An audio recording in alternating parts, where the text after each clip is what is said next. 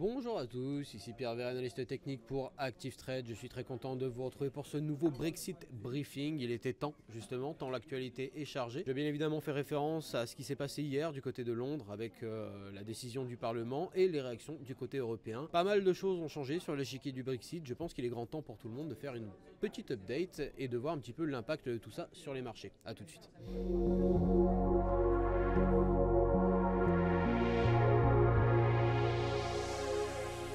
Les dernières nouvelles nous proviennent de Londres, euh, Londres où le Parlement britannique a eu l'occasion de voter une seconde lecture de l'accord sur le Brexit, euh, donc plutôt une bonne nouvelle hein, finalement, hein, puisque cela signifie tout simplement que le Parlement se prononce résolument en faveur justement de, euh, de l'accord négocié entre le bloc européen et Boris Johnson du côté britannique. Le Parlement qui s'est cependant opposé assez fermement d'ailleurs à l'agenda proposé par Boris Johnson.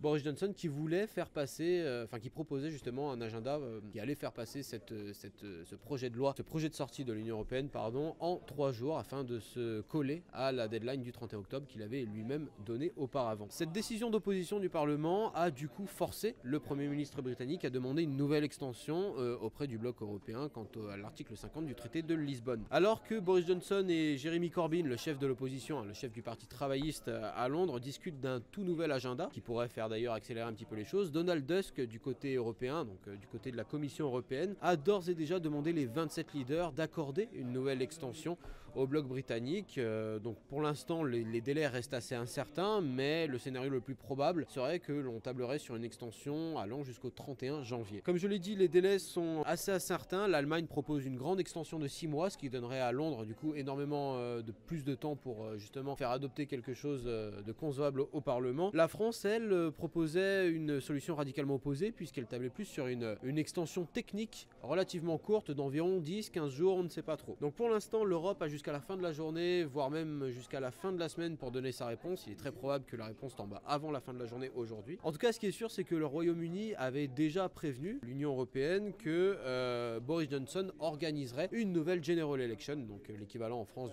d'une élection présidentielle. Donc une nouvelle élection avant Noël, ce qui pourrait euh, significativement rabattre les cartes sur l'agenda du Brexit, puisque finalement une victoire de Jeremy Corbyn, donc du, du Parti travailliste à cette General Election, pourrait provoquer euh, du coup un tout nouveau référendum sur le Brexit et du coup une, non-sortie du bloc britannique de l'Union Européenne. En tout cas, cela rabat énormément les cartes. On verra un petit peu que l'Union Européenne va décider, mais en tout cas, Boris Johnson avait déjà prévenu que euh, une extension d'assez longue durée viendrait court-circuiter euh, la sphère politique au Royaume-Uni. Maintenant, on est en droit de se poser comme question est-ce que le no deal est écarté pour de bon? Alors bien évidemment que non. C'est vrai que les chances d'avoir ce qu'on appelle un soft Brexit, donc une sortie en douceur avec un accord faire euh, à la fois pour le bloc britannique et pour le bloc européen, se sont résolument élevés avec le vote d'hier soir, puisque le Parlement ne s'est pas prononcé contre le projet de loi, mais vraiment pour une seconde lecture. Par contre, on peut toujours avoir, on a toujours le, spectre de la possibilité d'un refus de l'extension euh, de l'Union européenne, hein, l'Union européenne qui pourrait tout simplement refuser d'étendre justement euh, la sortie, enfin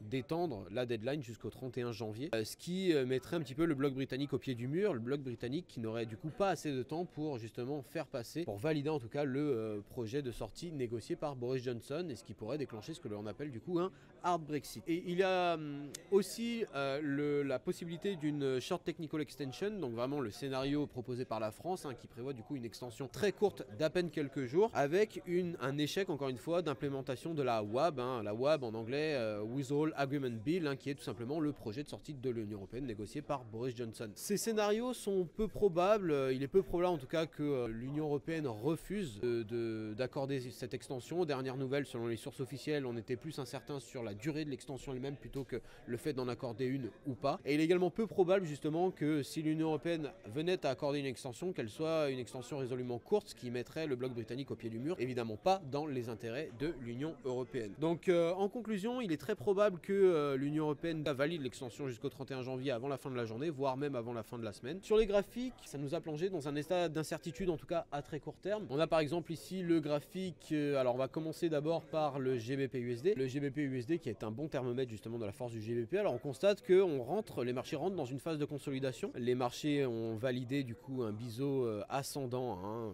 qui joue généralement le rôle de figure de renversement. Donc par le bas, hein, sans grande surprise, après un échec de traversée des, du fameux seuil psychologique et technique des 1,30. Nous avons pour l'instant le GBP USD qui se négocie en dessous de sa moyenne mobile euh, exponentielle à 55 périodes et en dessous du niveau euh, assez critique aussi des 1,29. La consolidation avait été, validée, avait été validée par le RSI qui est également euh, baissier, a cassé sa ligne de tendance haussière telle qu'on peut le voir ici. Hein. Ce mouvement avait d'ailleurs été annoncé par une belle divergence comme vous pouvez le voir ici. Pour l'instant les prix continuent de s'échanger au-dessus des 1,28,2, un niveau qui n'a pour l'instant pas eu l'occasion d'être touché, mais pour l'instant vraiment on effectue un pullback sur les 1,29. On est dans un état d'incertitude, alors c'est vrai que ce mouvement baissier à très court terme n'est pas euh, que provoqué par l'incertitude elle-même, mais également représente une bonne occasion pour les investisseurs institutionnels de, prendre quelques profits après l'énorme rallye. Je rappelle que le GBP USD avait pris près de 1000 pips depuis le mois de septembre, environ 700 depuis début octobre. Donc euh, une belle occasion pour les investisseurs de prendre quelques profits avant, pourquoi pas,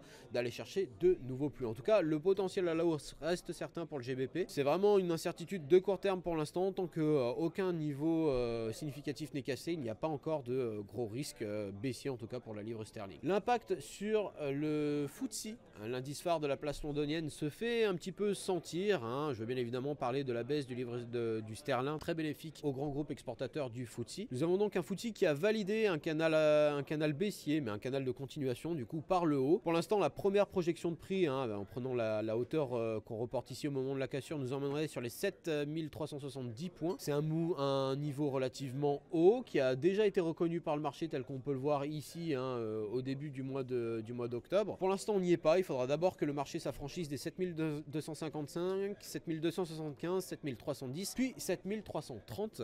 Euh, je pense qu'on aura un objectif euh, court moyen terme assez pertinent sur les 7310 hein, si on reporte un petit peu la ligne de tendance haussière que l'on a ici. Donc voilà, ça c'est pour le GBP USD. Rien d'autre à dire sur le stochastique qui reste en zone neutre, évoluant autour des 50%. Voilà, y a, on reste en tout cas dans une optique baissière, euh, dans une optique haussière, pardon. On a déjà eu un pullback sur justement la, borne haute du canal baissier qui jouait d'abord enfin auparavant le rôle de résistance pour les prix. Et, tant que l'on ne franchit pas les 7255, il faudra se méfier quant au développement futur de cette tendance haussière. Mais si, jamais on venait à s'affranchir de ce niveau-là, un retour rapide sur les 7275 et 7300 euh, pourra se faire euh, de manière assez forte, en tout cas j'imagine. C'était tout pour euh, cette update sur le Brexit. Bien évidemment, on vous tiendra au courant dès lors qu'on aura eu la de l'Union Européenne et on décryptera également avec attention ce qui se sera passé sur les graphiques. Merci à tous et à demain.